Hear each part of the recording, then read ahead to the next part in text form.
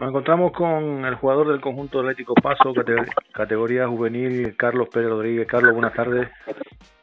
Muy buenas tardes. Carlos, ¿cómo que nos puedes hablar? Primero, queremos hablar contigo un poco de los dos frentes, el equipo que tú mismo ostenta como categoría juvenil nacional y en el equipo senior que usted también ha sido llamado a las órdenes de Jorge Muñoz. Primero, comentarte cómo estás viendo la situación del Atlético Paso, este equipo que está jugando los partidos como si fuera fuera de casa debido a la situación eh, que acontece en el municipio del Paso, los llanos y Tazacorte en esta erupción volcánica que, nos, que sigue fluyendo, que, que no para y que está perjudicando totalmente a todas las instituciones, tanto la base como al equipo grande del Paso. ¿no? Sí, la verdad que la situación está siendo bastante complicada para todos. Pues para el grande y para el juvenil, mm, tanto como para ellos como para para los demás equipos de la base también, alevines, infantiles, cadetes, el juvenil B, que también se está teniendo que desplazar a otros campos lejos de la zona nuestra para entrenar. Y bueno, el grande, pues jugando como si fuera, lo, eh, fuera los partidos que le tocan en casa y pues imagínate cómo es eso.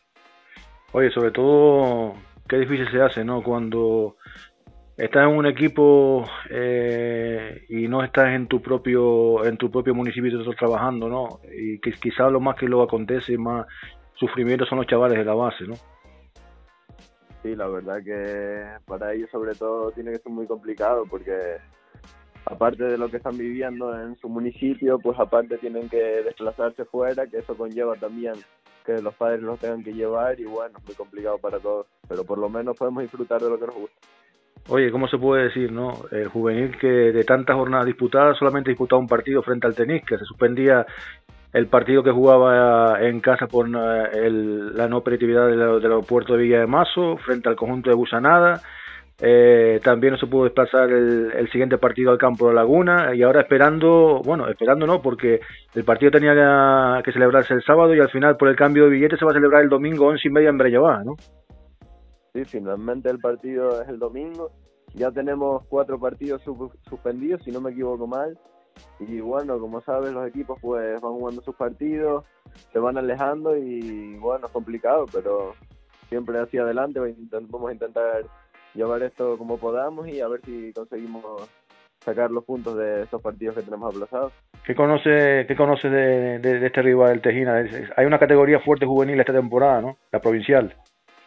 Sí, la verdad que según nos ha dicho el míster, eh, los equipos son muy competitivos, están bien entrenados y tienen mucha calidad.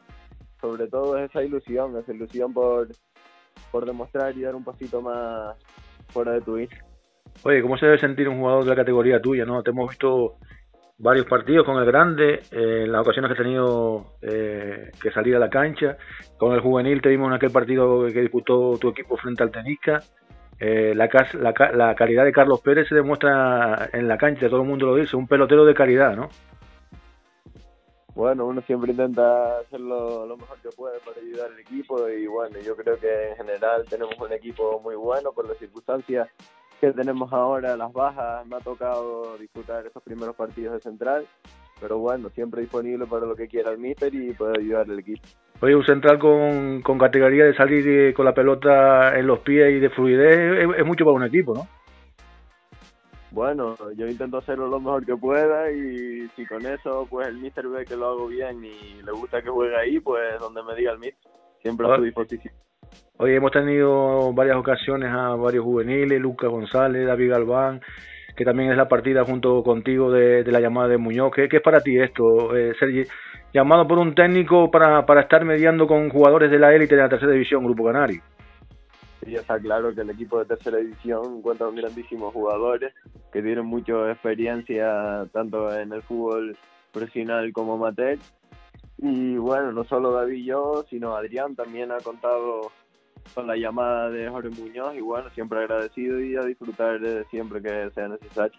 Oye, eh, ¿qué es para ti eh, una pregunta eh, que creo que para todo jugador de, de, la casa es importante? ¿Qué es para ti haberte formado en, en el Atlético Paso? Bueno, pues para mí es algo que me llena de orgullo. Siempre desde pequeño, desde los cinco años, llevo entrenando en la cantera del, Atlético Paso y para mí llegar a representar al club en esta categoría juvenil principalmente es un orgullo. Fuera de la isla, demostrar esos colores, para mí la verdad me llena de alegría. Oye, el grande ahora eh, entrena en Los Llanos, entrena en Breña Alta por la situación de, este, este volcán. Eh, y pensando en dos partidos vitales, ¿no? El domingo eh, frente a un rival directo como es el Tenerife B y, dentro de tres días frente al Vera, ¿no? Partido atrasado. Sí, la verdad que como te decía antes, la situación es muy complicada. Depende del día, pues se entrena en un sitio, se entrena en otro, nunca se puede saber con exactitud. Vamos siempre día a día y la verdad que eh, el equipo está rindiendo bastante bien para la situación que, que está llevando. Oye, qué bonito, qué bonito es mm, estar en un campo de fútbol con una, tuvo ocasión de poder presenciar el partido de Miraflores, la ocasión que disputó tu equipo frente al Tenisca. Qué bonito y con el grande eh, tener una afición de este calibre, ¿no? Sí, la verdad que yo creo que este club se caracteriza por eso, por la increíble afición que tenemos, que siempre está ahí dando la cara y bueno, a pesar de que los partidos son fuera de nuestro municipio, siempre somos un municipio futbolero y siempre la afición lo demuestra yendo a cada partido. Oye, esta junta directiva y estos socios, no, no, hay palabras, ¿no? De, alabar la, misión que hacen, no solo con el equipo grande, con un proyecto, sino con, con toda la base, ¿no? Efectivamente. Yo creo que ellos son los máximos responsables de que el club ahora mismo haya llegado al nivel que está y bueno, es agradecer obviamente, porque su trabajo mucha gente no lo ve y siempre es de agradecer el increíble trabajo que están realizando.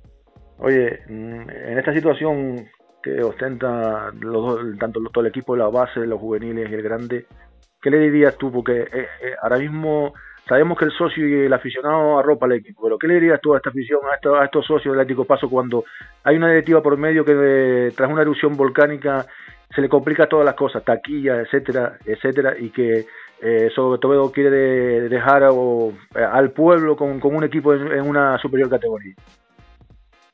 Pues yo lo que les diría es que todos vamos a una, que sigan apoyando, que nosotros en lo que podemos siempre vamos a darlo todo dentro del terreno de juego y que vamos a demostrarle que nosotros también queremos estar ahí donde quieren, donde quieren ellos y queremos todos.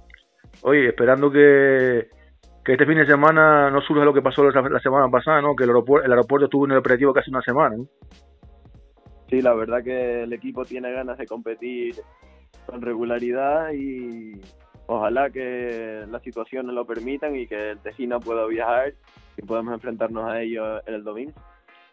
Oye, desconecta el, el fútbol, ¿no? De la situación que se está viviendo en La Palma, ¿no? Hombre, siempre uno hace lo que le gusta.